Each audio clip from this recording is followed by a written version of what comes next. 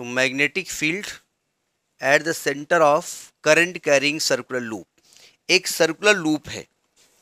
Circular loop जैसे हमने माने ये है। ठीक है? बार बार हम जब दिखाते बता देते ये मेरी नहीं है। पहले हम लोग चोरी चूड़ा उड़ा पहनते थे मेला गए थे, गोले आए, वो सब। अब तो नहीं पहनते। तो ये इसमें करंट फ्लो रही है। ठीक है? तो इसके सेंटर पे कितना मैग्नेटिक फ़ील्ड होगा, इसकी हम बात करेंगे। तो इसको रखें कैसे? तो हम इस प्रकार से इसको रखेंगे। ऐसे, थ्री डी डायग्राम के हिसाब से। अब ऐसे तो बन नहीं सकता। बन जाएगा। नहीं बन सकता ना।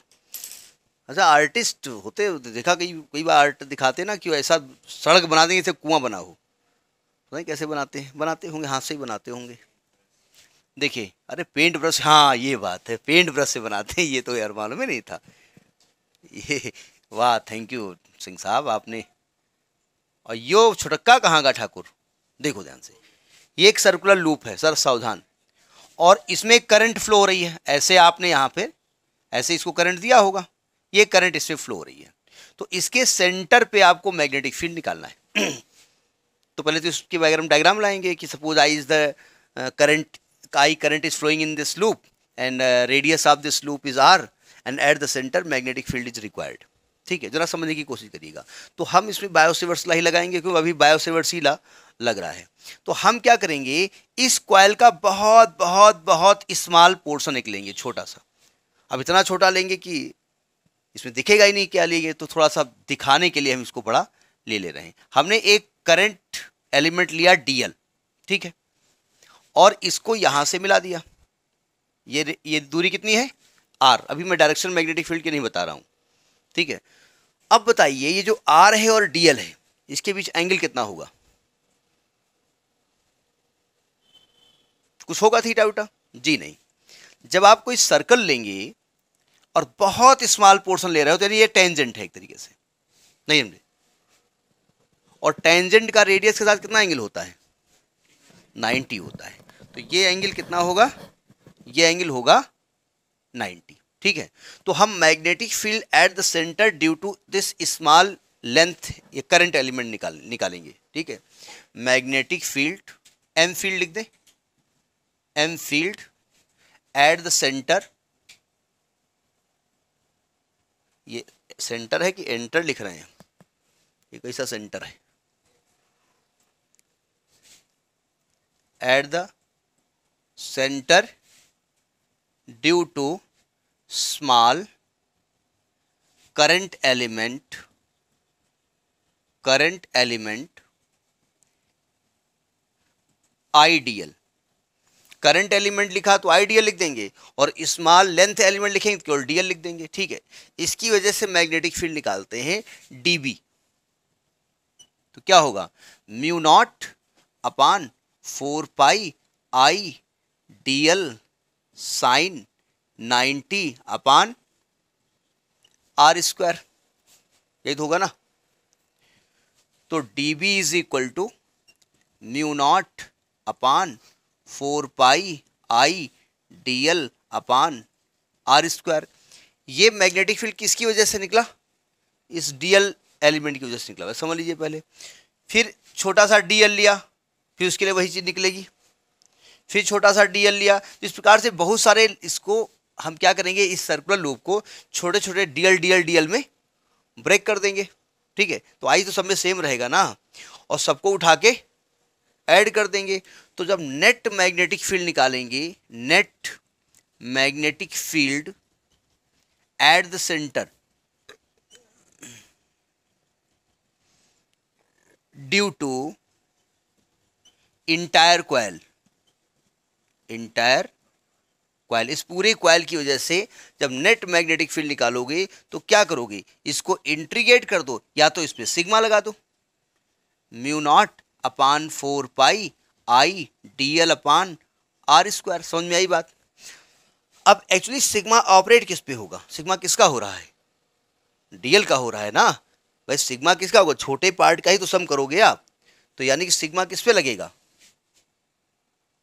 तो ये हो जाएगा B is equal to mu naught upon four pi I upon R square sigma dl sigma dl का मतलब क्या होता है?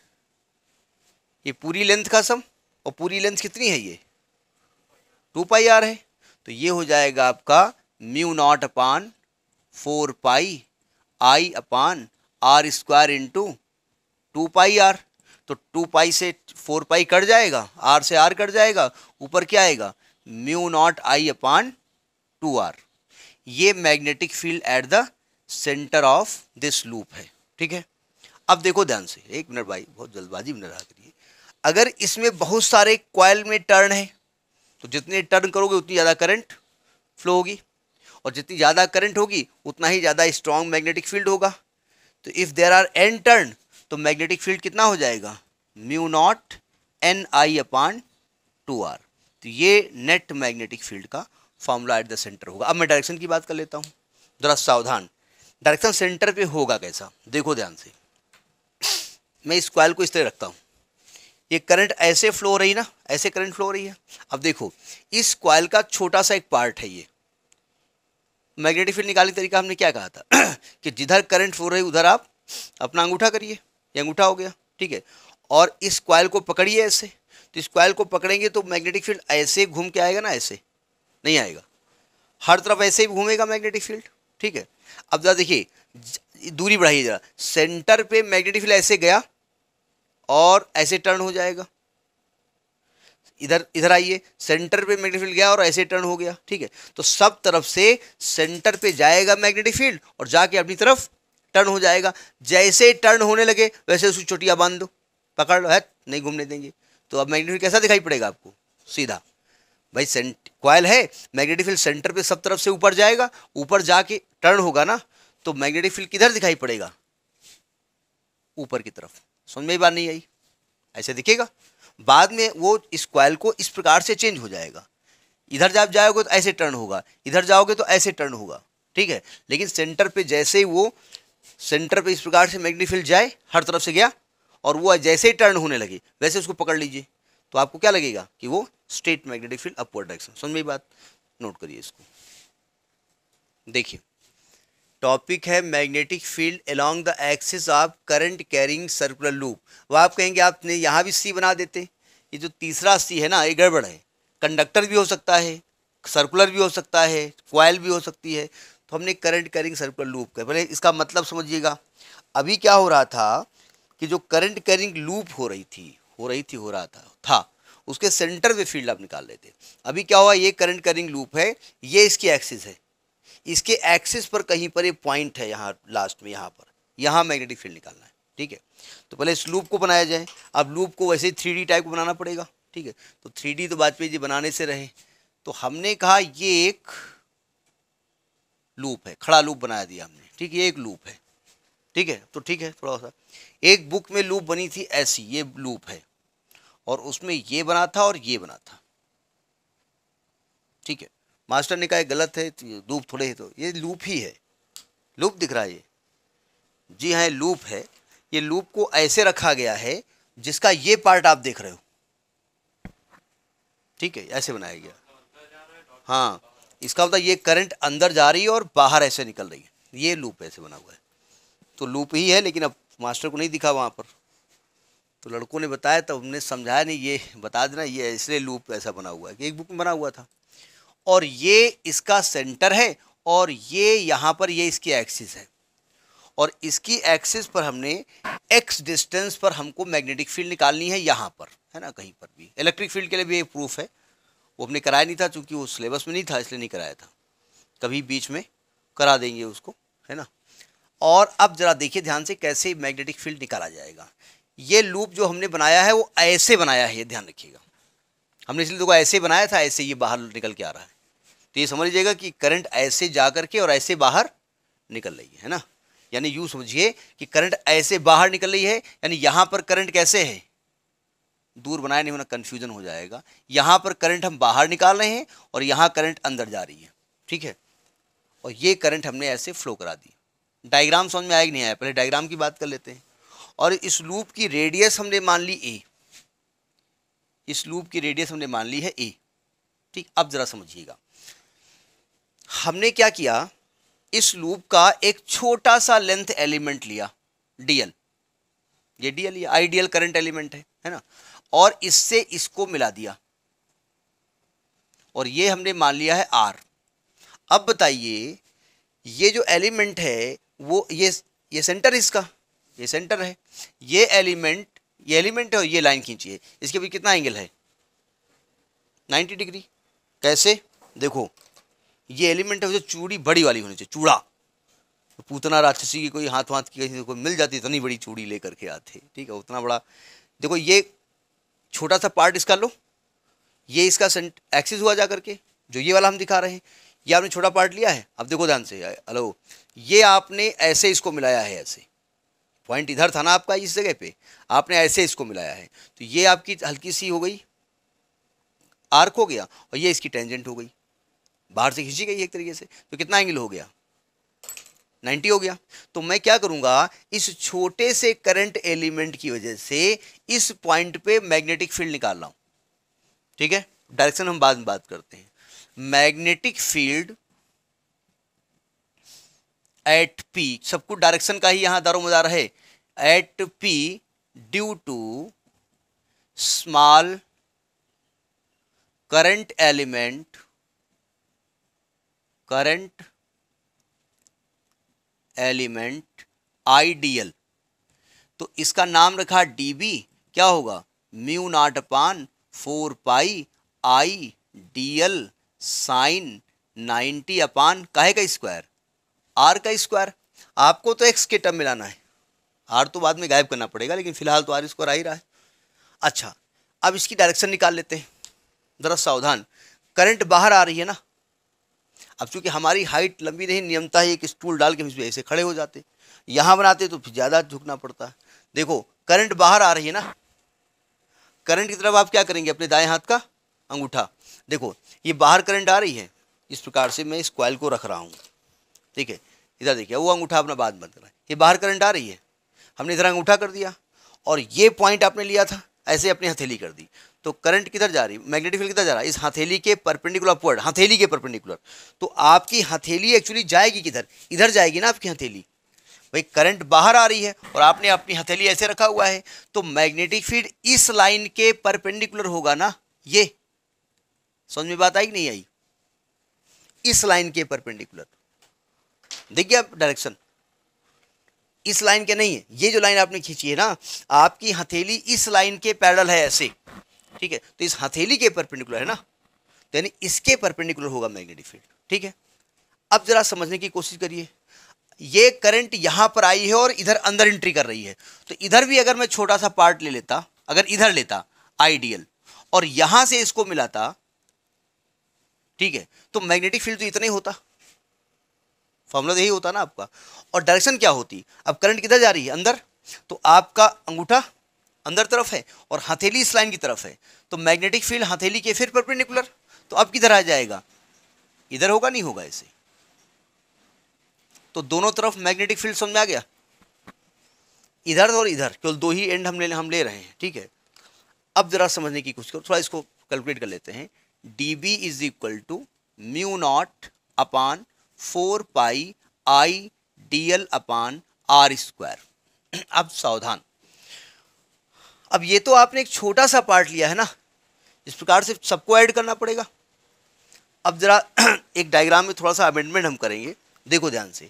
हमने इस एंगल को माना अल्फ़ा ज़रा ध्यान समझिएगा। तो ये एंगल भी अल्फ़ा होगा, नहीं होगा? और हमने ये जो लाइन आपकी एक्सिस है ना, इसके परपेंडिकुलर एक लाइन खींची। अब देखो ध्यान से। सावधान। इस लाइन के परपेंडिकुलर ये है।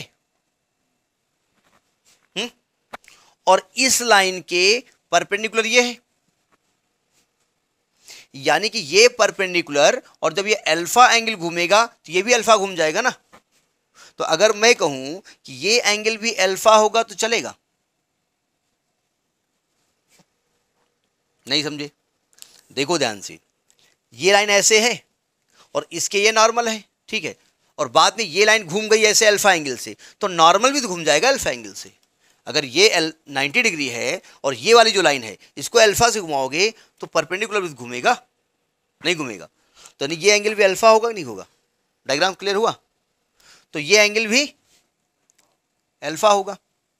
अब जरा ऊपर का जो आइडियल लिया है, उसका जो डीबी है, उसका ये वाला कंपोनेंट देखो, कितना होगा? डीबी साइन या कॉस वर्टिकल है ये। जनरली वर्टिकल तो साइन हम पढ़ते हैं, लेकिन अल्फ़ा से लगा हुआ कंपोनेंट क्या होता है? कॉज तो ये हो जाएगा डी बी कॉज अल्फ़ा और परपेंडिकुलर क्या हो जाएगा? डी बी साइन अल्फ़ा और ये भी नीचे की तरफ़ क्या आएगा? डी बी कॉज अल्फ़ा इधर क्या होगा? डी बी साइन अल्फ़ा ठीक है? अब देखो, ये डी बी कॉज अल्फ़ा और ये डी बी कॉज अल्फ़ा दोनों इक्वल हैं तो इनका जो रिजल्टेंट क्या हो जाएगा? ज़ीरो। अब देखो, ये क्वाइल आप ले रहे हैं, ठीक है? ये छोटा सा एंड देख रहे हैं। इसकी वजह से magnetic field dB cos alpha और इसके बिल्कुल opposite dB cos alpha cancel हो गए हो गए। यहाँ पे जो लोग हैं डीबी कॉज अल्फ़ा यहाँ पे डीबी कॉज अल्फ़ा कैंसिल हो जाएँगे। तो पूरी क्वाइल की वजह से मैग्नेटिक फ़ील्ड का जो कॉज कंपोनेंट क्या हो जाएगा? कैंसिल हो जाएगा और साइन कंपोनेंट उठा के ऐड हो जाएगा। भाई देखिए, ये क्वाइल है ये आप हथेली रख रहे हैं ना बार बार ऐसे हथेली एक इधर रख रहे हैं, एक इधर रख रहे हैं, दोनों एक साथ रख नहीं सकते। पकड़ में नहीं आएगा। अरे ठीक है। हाँ तीन हथेली होती। टीचर के तीन हाथ, ऐसे एक, ऐसे पकड़ता है एक ऐसे इसको क्वाइल को पकड़ता। है समझ में अब आता गई ना गई? तो देखो, ये जो आपका डीबी ऐसे आ रहा है ना, ऐसे ऐसे उल्टा ऐसे डीबी आ रहा है ना हथेली उल्टा। तो अब अगर पूरे क्वाइल को घुमा दो अब ऐसे, घुमा दो ऐसे पूरा तो पूरा मैग्नेटिक फ़ील्ड का ये पूरा शेप हुआ डलिया तरीके के। और इसमें जो कॉस कंपोनेंट है, वो एक इधर है, ठीक है? और इसका इधर है। तो कॉस कंपोनेंट कैसे हो गए? कैंसिल हो गए सब तरफ़ से? और साइन कंपोनेंट उठा के सबके एक ही डायरेक्शन में है? तो नेट मैग्नेटिक फ़ील्ड निकालने के लिए क्या करोगे? इस डीवी साइन अल्फ़ा को उठा के प्लस कर दो। समझ में ही बात? नहीं नहीं आई। तो magnetic field net magnetic field या मैग्नेटिक फ़ील्ड नेट ना लिखो magnetic field at P due to entire coil entire coil B तो इसी को इंट्रीगेट कर दो। किसको? डी बी साइन एल्फा को इंट्रीगेट कर दो। चलिए यहाँ तक पहुंचिए पहले आप। इस लूप को मोटा ना बनाइए। मोटा बनाओगे तो ये सर्कल बन जाएगा ना। इसको बिल्कुल ऐसे बनाओ, ऐसे बिल्कुल। इतना पतला बनाओ कि अब कहा बताए, उससे पतला होना। ऐसे बनाओ। मतलब लगे खड़ा हुआ क्वाइल है। अब चूँकि आप लोग आर्टिस्ट हैं तो आप लोग जानते होंगे, अब हम कहा बताइए? तो हमने इसको अच्छा ये सरफेस चूँकि क्लोज सरफेस है, इसलिए इसको इंटीग्रल का नाम क्या लिखा जाता है? क्लोज इंटीग्रल इस इंटीग्रल से आपको कोई मतलब नहीं, कोई इंटीग्रल फॉर्मूला आप लगाओगे नहीं। तो इसको आप केवल सिग्मा मान चलो कि सिग्मा की जगह इंटीग्रल का इस्तेमाल थोड़ा स्टैंडर्ड हो जाता है। ठीक है? जैसे जैसे स्टैंडर्ड भाषा में कहें व्हाट इज़ योर शादी किसी व्हाट इज़ योर क्वालिफिकेशन कहें एच एफ़ आई एस वाह, अब लड़की की क्वालिफिकेशन अब लड़का सोचे, अगर हम पूछ लें, ये कि इसका मतलब क्या होता है? तो लोग कहीं बताए कि हाँ शादी वादी हो गई। देखा एज एजुकेटर इतनी इतनी हाई एजुकेशन होने के बाद ही वो गड़बड़ दिखी तो उन्होंने पूछा, भैया, इसका मतलब क्या हुआ? तुम तो कुछ कुछ ना बता पा रही हो, बोले हमने पहले बताया था high school fail in all the subjects तो वही यहाँ पर भी होगा कि थोड़ा सिग्मा लगाने के बजाय थोड़ा स्टैंडर्ड कर दो उसको। यानी उसको क्या लिख दो? इंट्रीगल कर दो। अब देखो ध्यान से डीबी की वैल्यू हमने क्या बताई है? Mu naught upon four pi I upon R square यही है ना? और कुछ था। आइडियल और साइन एल्फा की वैल्यू यहाँ यहाँ क्या निकलेगी? ए अपान आर भाई आपने यहाँ से देखिए, ये ये 90 डिग्री आपने बनाया ना ये चीज़। तो यानी ये हो जाएगा परपेंडिकुलर अपान हैप न्यूज़ क्या अच्छा इसमें इंटीग्रल किसका होना है? केवल डीएल का। और सबको बाहर ले आओ। तो ये क्या हो जाएगा? Mu naught upon four pi I a upon R cube. और इंटीग्रल किसका हम करेंगे? डीएल का। क्या आर के बारे में आपको जानकारी है? वो तो आपने अपने आप माना है ना। एक्सिस से डिस्टेंस इसकी एक्स है ना। तो आपको सब कुछ एक्स के टर्म में लाना पड़ेगा। और जिस क्वाइल के बारे में हम बात कर रहे हैं उसकी रेडियस आपको मालूम है। तो आपको ए के टर्म में लाना पड़ेगा। तो आर को आर, आर को तो भाई साहब को गायब करना पड़ेगा। तो चलो गायब कर देते हैं। आई ए आर क्या निकलेगा यहाँ से? Under root a square plus x square निकलेगा पाइथागोरस से। तो यानी कि under root a square plus x square की पावर थ्री है ना तो ऐसा करते हैं ये अंडर रूट हट जाएगा तो पावर क्या चढ़ जाएगी इसके ऊपर? थ्री बाई टू अच्छा डीएल का ये कितना होगा total two pi a dl का इंटीग्रल करोगे तो पूरा सरकमफ्रेंस आएगा ना तो ये कितना हो जाएगा? टू पाई ए अब कट्टम पिट्टम किया जाए। तो देखो, टू पाई से तो पूरा कैंसिल हो जाएगा ये। तो ऊपर क्या आएगा? आएगा mu naught I a square upon two a square plus x square power three by two ये मैग्नेटिक फ़ील्ड का छोटा सा फार्मूला निकला हुआ है, ठीक है? ये कब निकला है? जबकि I current is flowing in the coil ठीक है? अगर देर आर एन टर्न्स तो जितने टर्न करोगे उतने गुना करंट बढ़ जाएगी। तो आप लिखेंगे if there are N turns if there are N turns in the coil अगर क्वाइल में एन टर्न्स हैं तो बी की वैल्यू क्या निकलेगी? यही फॉर्मूला आप दोबारा लिख दीजिएगा केवल वहाँ पर एन टाइम्स करंट हो जाएगी तो क्या आ जाएगा? म्यू नॉट कैपिटल एन लिखो अच्छा लगेगा। तो दिखेगा ना? N I a square upon two a square plus x square power three by two तो ये आपका magnetic field on the axis of a coil है। एक्सिस पर ध्यान सेंटर नहीं है एक्सिस पे है। नोट करिए। अब जरा देखिए, इसमें एक स्पेशल केस ले लीजिएगा। इधर देखिए स्पेशल केस शांत रहिए। अगर ये पॉइंट खिसक करके जो पी पॉइंट है ना, ये खिसक करके ओ सेंटर पे आ जाए। तो एक्स कितना हो जाएगा? ज़ीरो यानी आप लिखेंगे if P is at the centre at the centre तो एक्स की वैल्यू क्या हो जाएगी? ज़ीरो तो इक्वेशन वन में एक्स का मान क्या रख दो? ज़ीरो कर दो. तो बाई इक्वेशन वन बी कितना निकलेगा? Mu naught N I a square upon two, यहाँ ए क्यूब हो जाएगा। भाई ए स्क्वायर की पावर थ्री बाई टू है तो ए क्यूब आएगा ना। बातें मत किया करिए, ठीक है? और ये मत अपने आप को चालाक समझा करो कि तुम जब बात करते हो, सामने वाला चूतिया है।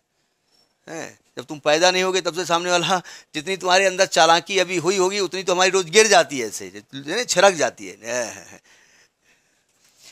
एक ए स्क्वायर से ही कट जाएगा तो बी इज़ इक्वल टू क्या हो जाएगा? Mu naught N I upon two a अभी ध्यान से समझिएगा centre of magnetic centre of the coil पे मैग्नेटिक फ़ील्ड यही तो आपने प्रूफ किया इसके पहले। वही प्रूफ है। अब देख, अब आप कहेंगे, ये हम कैसे समझे कि ये वाला हमको प्रूफ करना है कि पहले वाला करना है, इस वाले केस में?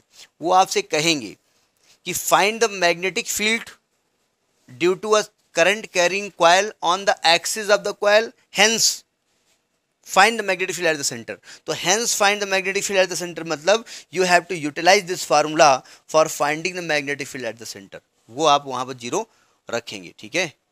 अब देखो सेंटर पे जब निकालोगे मैग्नेटिक फ़ील्ड डायरेक्शन यही तो होगी आपकी मैग्नेटिक फ़ील्ड की, नहीं होगी। आज इस क्वाइल को सीधा कर दो, इस क्वाइल को जो ऐसे किया ऐसे सीधा कर दीजिए तो मैग्नेटिक फ़ील्ड किधर हो जाएगी? ऊपर की तरफ़ तो वही तो हमने बताया था आपको, ठीक है? तो समझ में आई बात? कैसा प्रूफ लगाइए? बड़ा स्मार्ट प्रूफ है, हैं? खतरनाक नहीं है स्मार्ट है। ऐसे ही इलेक्ट्रिक फ़ील्ड भी निकलेगा, ठीक है? इसको नोट करिए।